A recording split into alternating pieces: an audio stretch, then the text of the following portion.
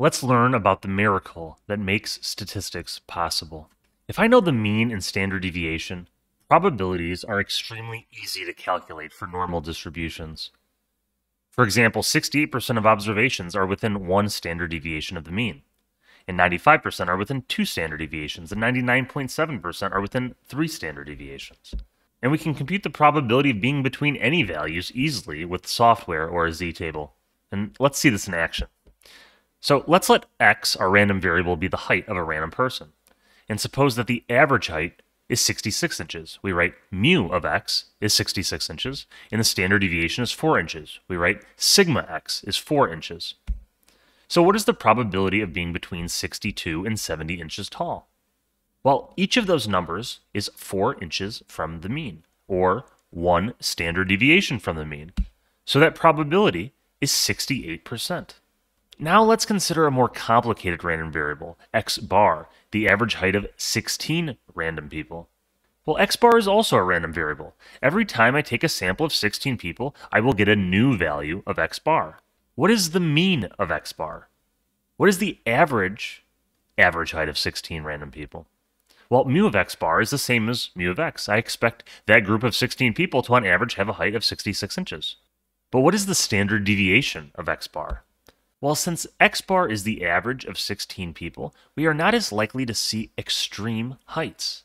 It would be very weird to see 16 random people whose average height was 6 feet 3. The standard deviation is smaller. The standard deviation of x bar is the standard deviation of x divided by the square root of the sample size n. So here we have the standard deviation of x bar being 4 over the square root of 16, or 1. And since x is normally distributed, x bar is also normally distributed. That's just a nice little fact about normal distributions. So what's the probability of the group of 16 having an average height between 65 and 67 inches tall? Well, each of those numbers is one standard deviation away from the mean. So that probability is 68%. The rules for finding the mean and standard deviation of x are very easy, which makes it very easy to find probabilities if the distribution is normal. Okay, now on to the central limit theorem. Let's move on to a different random variable, the income of a random person. Suppose the average income is $50,000 and the standard deviation is $10,000. What is the probability of an individual making between $40 and $60,000? You might be tempted to say 68%, but the distribution of income is not normal. It's skewed to the right. And we have no way of answering this question without some more information. But let's take a look at X bar. Let's let X bar be the average income of 100 random people. The mean of X bar is still $50,000. When I take 100 random people, I expect their average income to be $50,000. But again, the standard deviation is less. Because there's more people, there's less variation in their average income. The standard deviation of X bar is 10,000 over the square root of n, which is 100. So the standard deviation is $1,000. And now get ready for the central limit theorem. Even though x was not normally distributed, x bar is normally distributed. As long as n is large, say at least 30 is a common rule of thumb. So what's the probability the average income of 100 people is between 49 and $51,000? Well, that probability because those are one standard deviation away from the mean, is 68%. This is pretty crazy. Even though the distribution of income was not normally distributed, and we didn't know anything except the mean and the standard deviation, I can very accurately calculate probabilities related to x bar. This is the magic of the central limit theorem. The central limit theorem states that when n is large, the distribution of sums or averages of random variables is normally distributed, regardless of the distribution of the original random variable. Let's do one more quick example.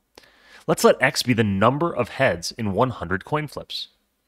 Now, x is not normally distributed at all. In fact, it's a discrete random variable that follows a binomial distribution with sample size 100 and probability of success 0.5.